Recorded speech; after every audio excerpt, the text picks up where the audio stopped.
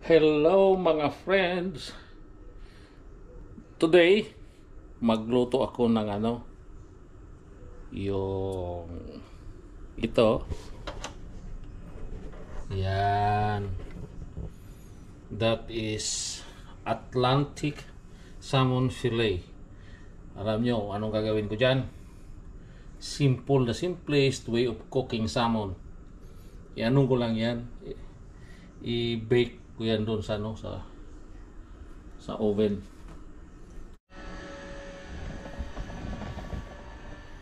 Okay, welcome back mga friend.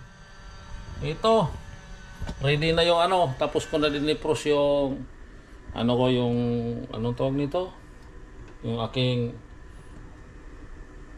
salmon fillet.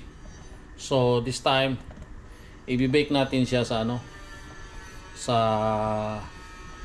oven. Ilagay natin yung ano sa brewel. Yan. Within 15 minutes luto na yan. Pero bago ko yan ilagay, lagyan muna natin siya ng ano. Simple lang yan. Ano lang yan. Ito, dito ko yan ilalagay. Pero itong ano, lagyan ko ng garlic salt para malinamnam. Hindi yung ordinaryong salt. Yan, i-scatter lang yan sa top sa ano sa isda.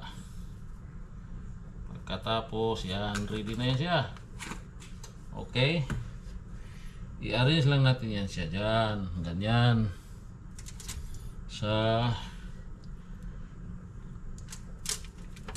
tray. Tapos yung tray natin, aluminum tray, nilagyan ko ng ano, aluminum foil para madali lang siya tanggalin. Okay? So,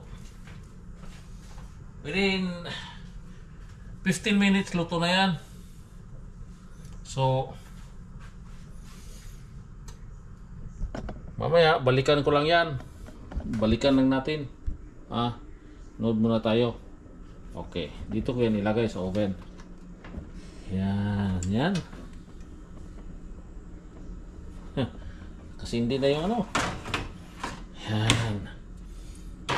Okay. In 15 minutes, balikan natin yan. Okay? Sara. Okay. Okay mga friends. I-checks natin. I-checks natin mga friend ang niluluto natin ano, salmon fillet. Okay? Tingnan nyo.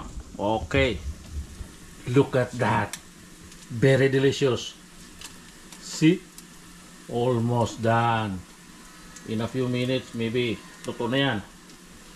Okay, in maybe 5 to 10 minutes, luto na yan. So, balikan natin yan mamaya, mga friends, mga friends. Okay. Lapit na. Ah, ilagay na natin sa plate. Ang sarap-sarap ng aking ulam ngayon. Oh, see? Mm. Yan. Okay.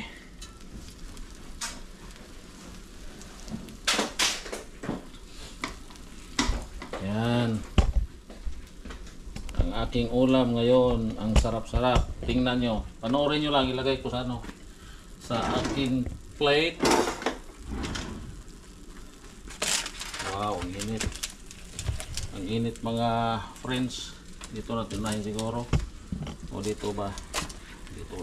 Kasi yung aluminum foil na ginamit ko mga friends, ano eh, ordinary to eh, hindi to ano, yung non-stick. Sinaubusan ako ng non-stick. Kaya ito yung ginamit ko. Kaya, ang pinakamadali dito, ganunin na lang yan. Mainit yan eh. Yan. Pagkatapos yan, ilagay mo dito.